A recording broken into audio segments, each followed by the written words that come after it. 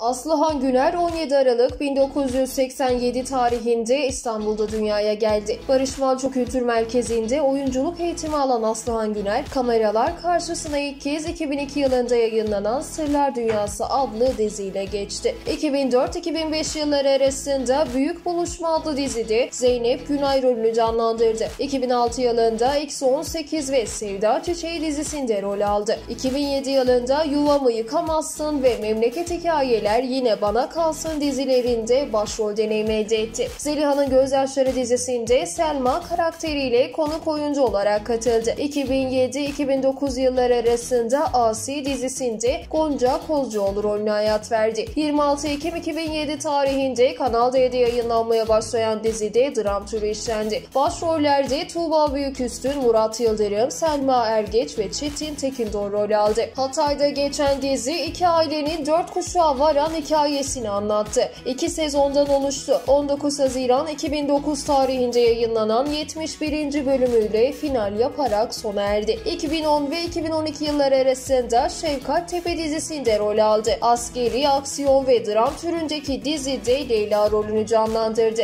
Başrollerini Mert Kılıç, Aslıhan Güner, Ertuğrul Şakar, Dilara Büyükbayraktar, Mehmet Korhan Fırat, Merve Akaydın ve Bora Karakul paylaştı. 2012 yılında Bir Zamanlar Osmanlı dizisinde rol aldı. Esma Hatun rolünü canlandırdı. İlk olarak Burası Osmanlı Sır Kanunu 1711 adıyla tasarlandı. Fakat dönemin TRT Genel Müdürü İbrahim Şahin bu biçimiyle diziyi istemedi. Gerekçe olarak çalışmanın belgesel nitelikte olduğunu, dizi formatında olmadığını gösterdi. Daha sonra dizide bir zaman atlaması yaşandı. Kadroda bazı isimler değiştirildi. Dizinin adı da Bir Zamanlar Osmanlı Kıyam olarak belirlendi.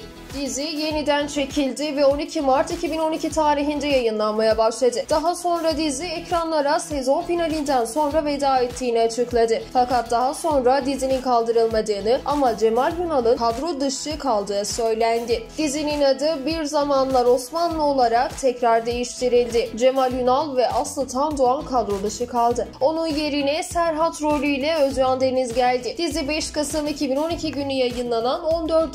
bölümüyle ikinci sezona başladı. Dizi 3. Ahmet Tahtayken Osmanlı İmparatorluğu'nun yaşadığı Lale Devri dönemini anlattı. 2015 yılında Selam Bahar'a Yolculuk sinema filminde Sevgi Yüce rolünü üstlendi. 13 Mart 2015'te vizyona girdi. Çekimleri Türkiye'nin yanı sıra Kazakistan ve Kırgızistan'da gerçekleştirilen filmin yönetmenliğini Hamdi Alkan üstlendi. Dram türündeki yapımın başrollerinde Aslıhan Güner, Gürol Güngör, Merve Sevi ve Mert Yavuzcan yer aldı. Filmde rol alan Türk oyunculara Mıktыбek Apazov, Nazira Ayitbekova gibi Kırgız oyuncular da eşlik etti. Filmin senaryosu Erkan Çıpla, müzikleri ise Yücel Arzen'e ait. 2017 yılında Verkaç filminde Nazlı rolüyle boy gösterdi. Filmin yönetmenliğini Orçun Benli üstlendi. Komedi türündeki filmin senaryosunu Ali Ersin Kelleci, Onur Karataş, Şükrü Üçpınar ve Orçun Benli kaleme aldı. Başrollerde Kenan Ece, Bülent Çolak, Aslıhan Güner ve Fırat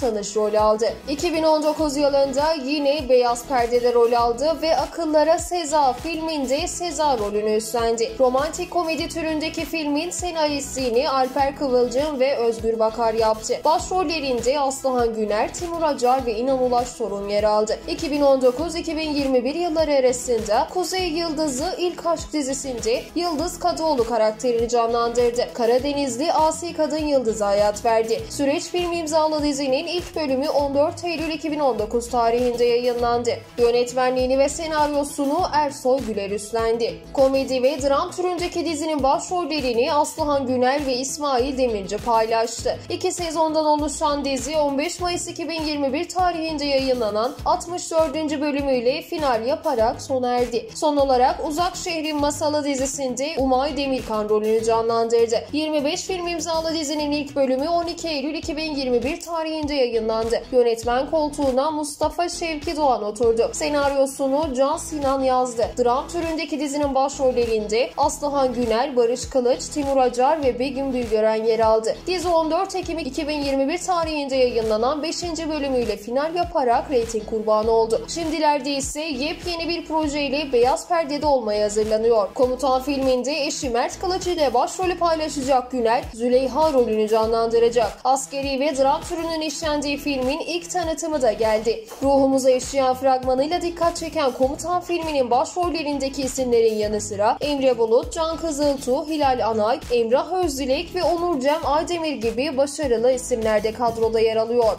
Dram, askeri, savaş ve aksiyon türünün işleneceği Komutan filmi 7 Ekim 2022'de vizyona girecek. Selahattin Sancaklı Komutan filminin yönetmen koltuğunda oturacak. Filmin yapımcılığını ise Mert Kılıç'ın yapım şirketi yani Kılıç Yapım üstlenecek. Komutan filminin 4 kişilik timinin gözü pek ve deli dolu askerlerinin soluk kesen hikayesi anlatılacak. Komutan Suriye İlbap'ta öldürülmüş olan Türk askerlerinin cenazelerini oradan alıp Türkiye'ye getirmekle görevlendirilen 4 kişilik bir timin bu macera sırasında terör örgütü mensuplarıyla girdiği çatışmaları konu alacak.